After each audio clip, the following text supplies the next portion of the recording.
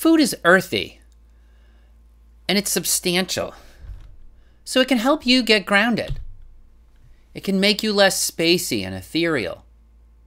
It can reduce a sense of detachment, dissociation, or feeling very tenuous. And instead, it can help you be more substantial, more steadfast, more actualized. Food can increase stability. It can also increase instability, right? Think of the difference between comfort food and a cup of coffee. Cup of coffee is going to stimulate and get you moving, but comfort food is going to stabilize you. Especially home cooked meals made with love and heavy ingredients. Right? Why, why is the best kind of comfort food uh, or the most substantial or stabilizing kind of comfort food a home cooked meal? Because home is a place of familiarity. Uh, hopefully, home is a safe place and where you can relax and that there's love in your home uh, that increases connection and bonding. And all of that is very stabilizing and substantial um, uh, helps you commit.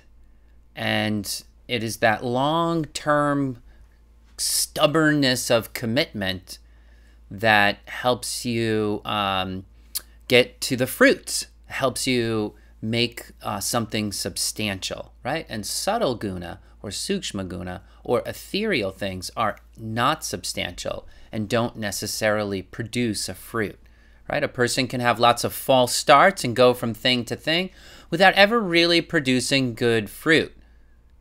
Or a person could be easily influenced instead of carrying out their mission and purpose in a steadfast manner, right? Well, these comfort foods are going to help settle the person down.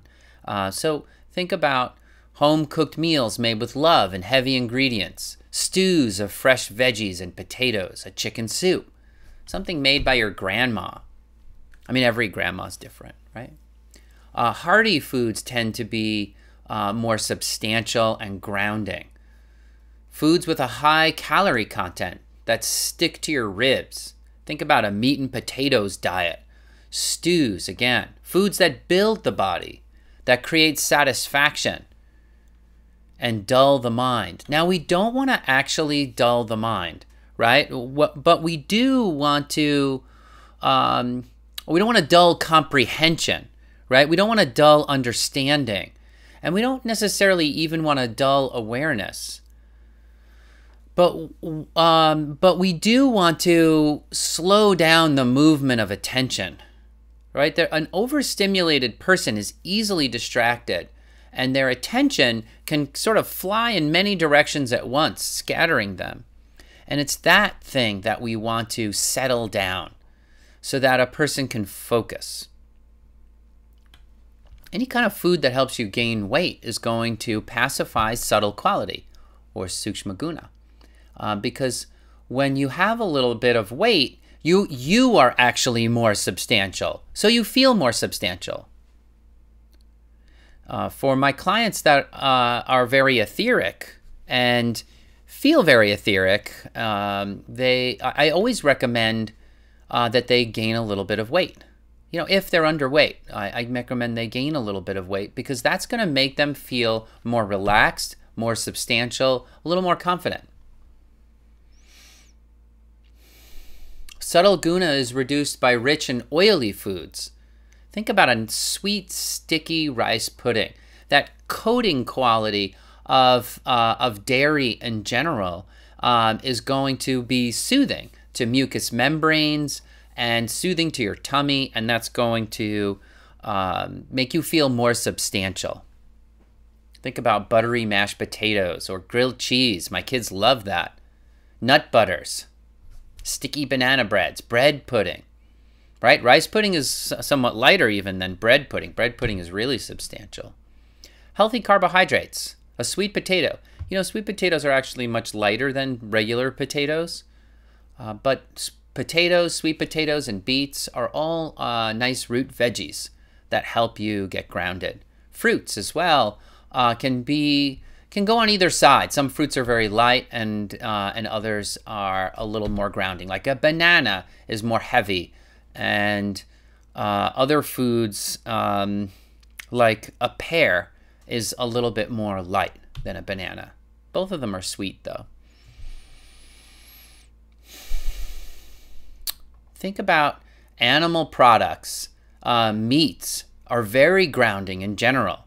They, they're sort of define the gross quality. I don't mean gross as in disgusting. Uh, we shouldn't take it that way. Uh, gross means more. In fact, I, I, think we should change that word even in Ayurveda to manifest it. Uh, animal products are substantial. Meat, like beef and pork, is very substantial and can help you be more substantial. Fish, uh, like oily salmon, eggs, and especially the egg yolk, bone broths, and dairy products in general, all uh, are very substantial.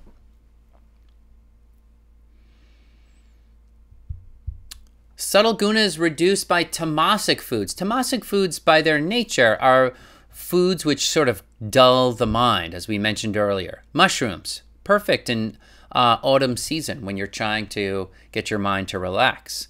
Uh, garlic, cooked garlic, uh, is uh, grounding. Uh, raw garlic is very overstimulating.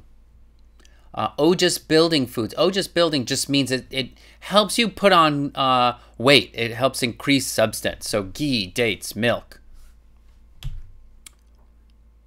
right, let's review. Uh, generally, dense, slow, dull, heavy, oily, uh, tamasic, and ojas building foods, and also sticky foods that form a coating uh, are uh, and and are soothing.